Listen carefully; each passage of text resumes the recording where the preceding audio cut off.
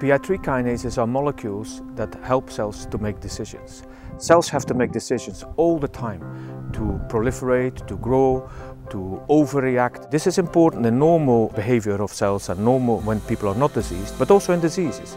Our research spans understanding this basic science and also the clinical science. And we still have to understand what PI3 kinases are doing in different situations because cells, even when they are diseased, make, have to make decisions. So we hope that our fellows and the people who contribute to this network will continue to be exposed to this type of research with broad societal impact.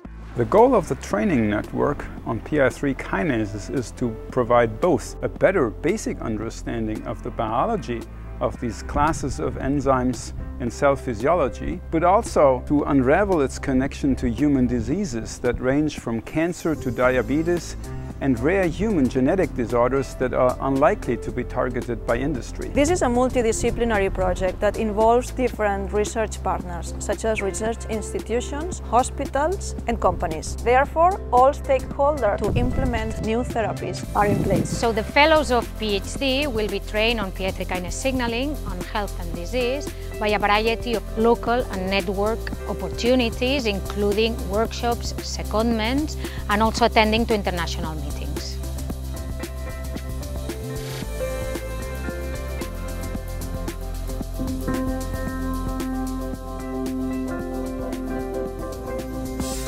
The best thing of the project is uh, that it's a, indeed a very interesting uh, research project with very top researchers and a very good opportunity for networking as well. I'm really enthusiastic about the outcome of my research because it, it will affect the uh, society and also scientific community. I think that the work we're doing right now could help in translational medicine because the lab work that we're doing could actually be translated into clinical applications that would have like a real impact in people's lives. So in five years I would like to stay in academia and continue uh, working in the same field so I'm sure that uh, all the knowledge I, I already gained I'm going to gain like in the next two years I'm sure it's going to be valuable in my future career. I hope that in three years I'll be um, done with my PhD and then in five years I hope to have my own research group within the PI3 kinase field. The key thing is we're going to build a community between the researchers